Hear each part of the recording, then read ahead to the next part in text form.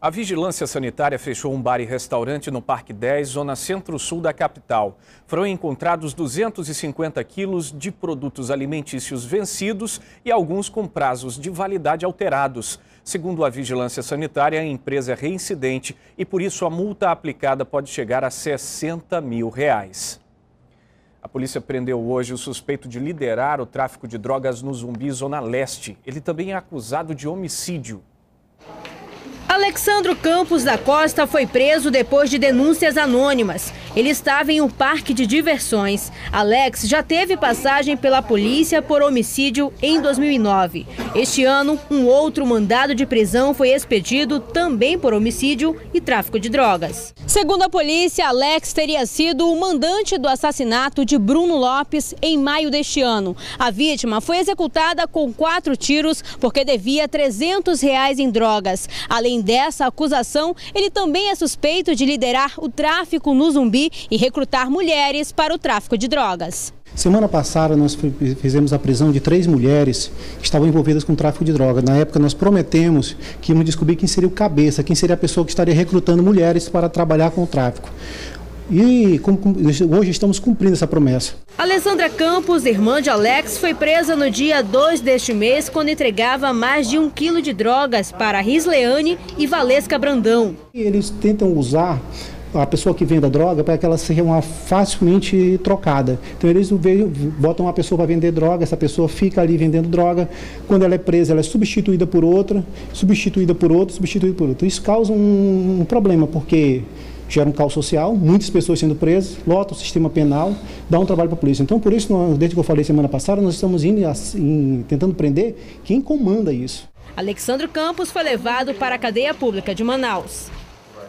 As vendas de celulares recuaram mais de 70% este ano em Manaus e isso teve resultados diretos na indústria. Quem usa muito o celular tem evitado trocar o aparelho quando quebra ou tem algum defeito. Por causa das contas, das finanças. Não dá para ficar gastando trocando celular todo ano não, né? Não, não, não dá não.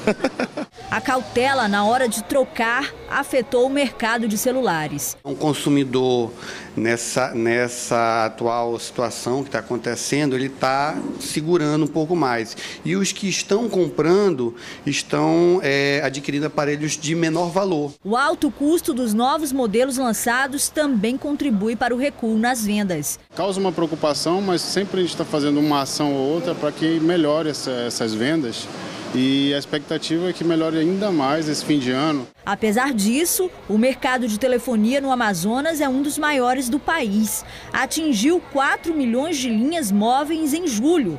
Na região norte, o Amazonas é o segundo estado com mais números de celulares. Perde apenas para o Pará mas as vendas caíram este ano. Quando você troca um celular, você quer uma coisa melhor. E esse melhor ficou muito mais caro do que há um ano, um ano e meio atrás.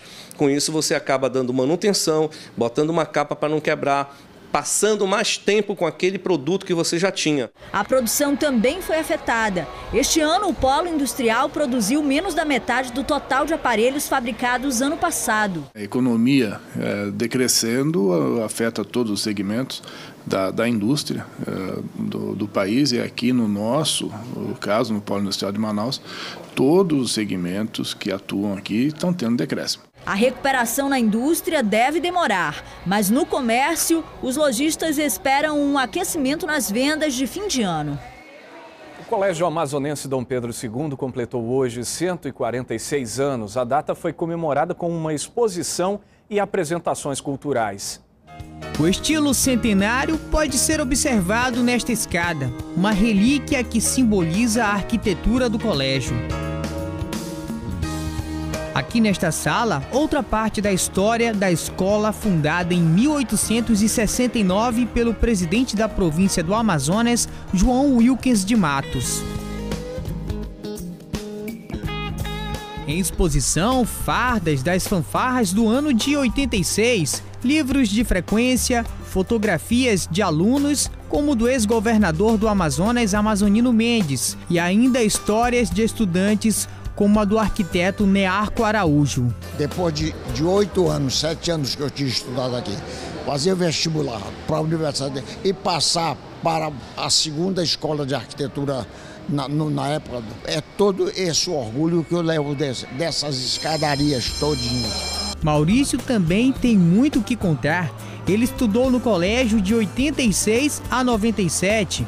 Anos depois, voltou como professor de história. É um orgulho muito grande para nós, historiadores, é, trabalhar num prédio onde ele é tombado pelo patrimônio histórico e que faz parte também da história do Amazonas e isso a gente leva para a sala de aula também para os alunos. Hoje estudam por aqui 1.360 estudantes. Heloísa é do segundo ano. Ela quer se formar em medicina e tem se preparado para isso. Não só a escola, a escola como todos os professores também, né? Eles sempre ajudam, isso é muito bom. Para a diretora da escola, a data celebra o compromisso do Dom Pedro II com a educação. É uma data que a gente tem a satisfação de dizer ao público que as portas da escola estão abertas para qualquer eventualidade, tanto de matrícula como também um prazer de vir prestigiar e vir visitar. O dia para comemorar os 146 anos foi também de apresentações culturais.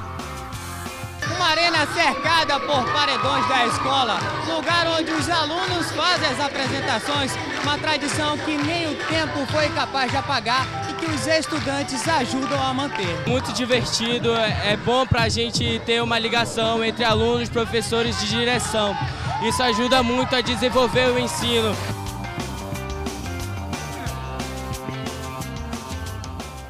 Em instantes, nova reforma administrativa do governo nem chegou à Assembleia e já causa polêmica.